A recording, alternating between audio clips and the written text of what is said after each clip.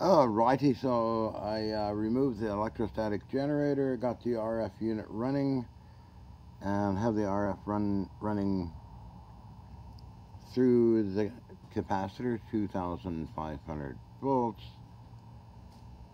And I'll show you that how the skin effect of high frequency, 27 to 30 megacycles, 200 watts, will light up this fellow.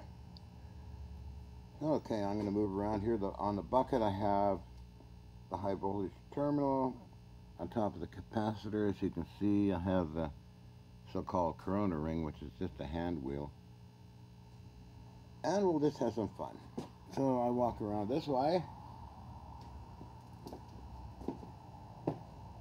RF unit down here. Let's try it this way then. I'm getting zapped.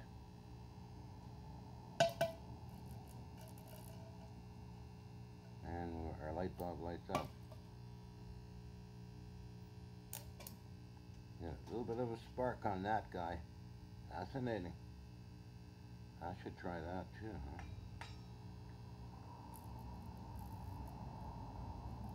Hold on. Corona ring is moving.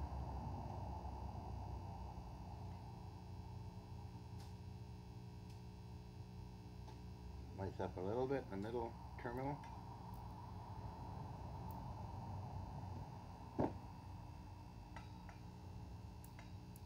Oh, there we go. Hot. We go over to the furthest terminal.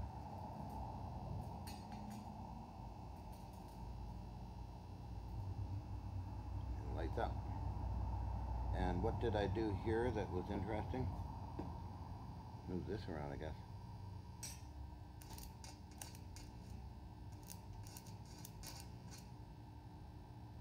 bring this up a little bit.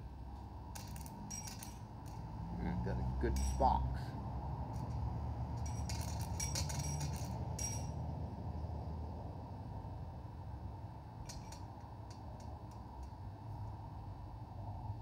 Again, this is RF, 200 watts.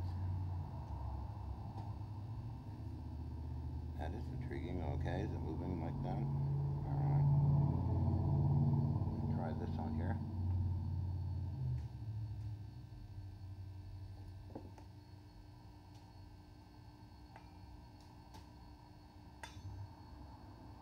Kind of changed things, didn't it?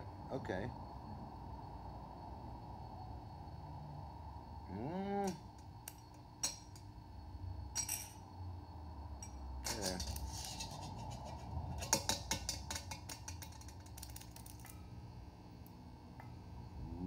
go.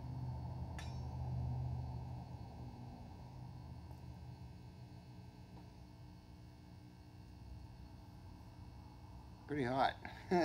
hot light bulb. Barbara! Yeah, I know. I won't get that.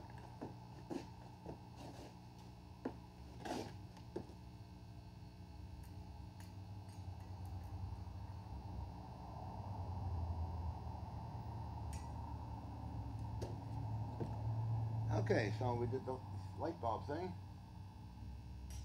Bring this up here to this terminal. May change in weirdness.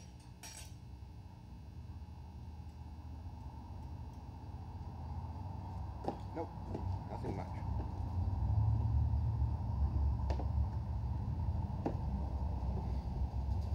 Now we can move the, this here, this is the other half of this down here to the capacitor. Uh,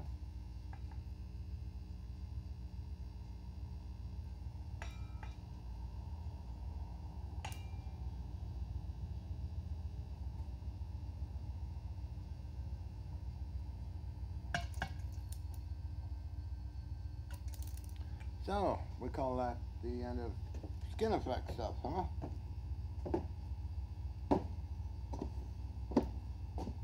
You wouldn't want to do that with low voltage dynamic electricity, gang. No. Low frequency dynamic electricity will kill you.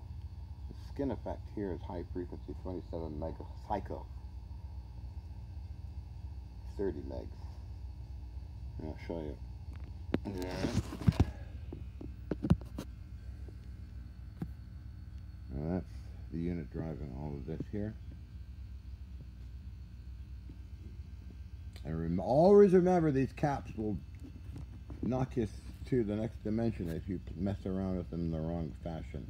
So there we have it. Fun time. Uh, our light bulb. Well, I guess we'll go back to machining something or testing one of these guys, huh? Okay, I'm gonna go.